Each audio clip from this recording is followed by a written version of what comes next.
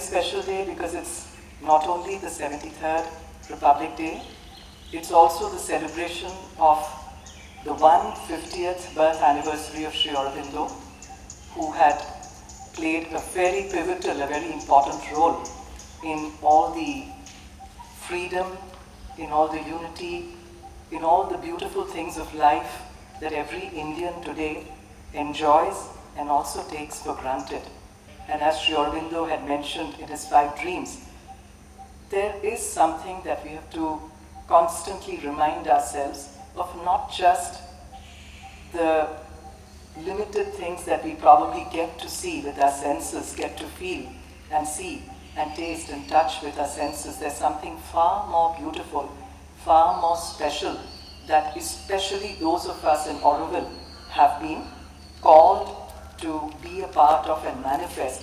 This has to be a city not just of brick, mortar, gravel, but of living human beings that embody, embody the spirit of selflessness, that complete consecration to the divine, to the truth, as Mother had said at Sri Aurobindo in his philosophy and direct action had mentioned.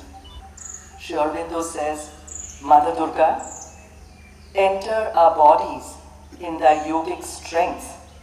May our entire life become a ceaseless worship of the Mother. All our acts a continuous service to the Mother, full of love, full of energy. This is our prayer, O Mother. Descend upon earth. Make thyself manifest in this land of India.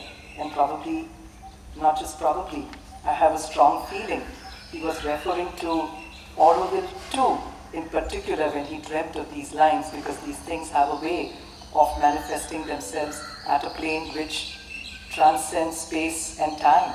And we have a very special responsibility, a special duty, a special privilege to actually be those children of the mother, those warriors of the divine that can actually play our role in making this happen collectively with collaboration, with coordination, and actually be a willing servitor of the divine consciousness. And I think today is also a day for all of us to do a bit of introspection, reflection. I think the contribution of each one of us, each one of you in Auroville has been phenomenal, incredible, I would say, without any doubt. I think what we have done here in terms of transforming this piece of land into one of the greenest places on earth, creating this beautiful miracle of Matru Mandir. But when I see these images, the detailed drawings, the pictures, even during the Dreamweaver session, etc., I feel that what we are all about to see manifest here in our living lifetimes is something very, very, very special. And I would again request all of us to collectively join hands and make this beautiful city manifest itself. It is already there, as Mother said.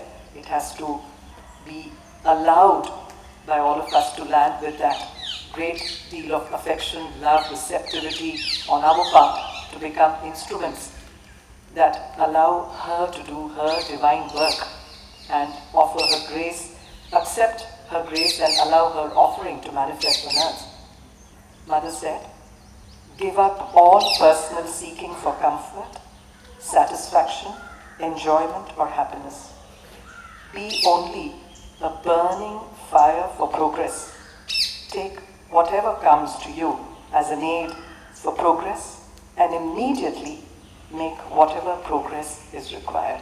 On that day, let us all resolve again today on this beautiful day to boldly and swiftly leap towards the future, and it's our duty, not just for our sake, but if we do this, Auroville is a small symbol, but a very mighty, a very powerful presence, a symbol of what will happen all across the world, across the universe. So my best wishes to all of us to again rededicate ourselves, offer ourselves, surrender ourselves to the divine, and be instruments in the manifestation of something very beautiful that may radiate this beauty, harmony, progress, and all that mankind needs all across the globe and the universe. Jai Hind. Vande Mataram.